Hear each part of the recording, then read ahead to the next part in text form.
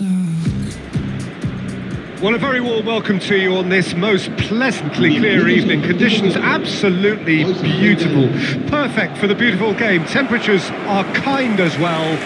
No doubt playing a hand in high attendance levels as well as an elevated level of anticipation here.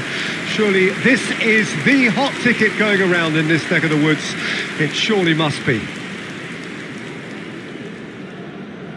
And we have in front of us this gloriously imposing arena absolutely perfect for a game of this nature.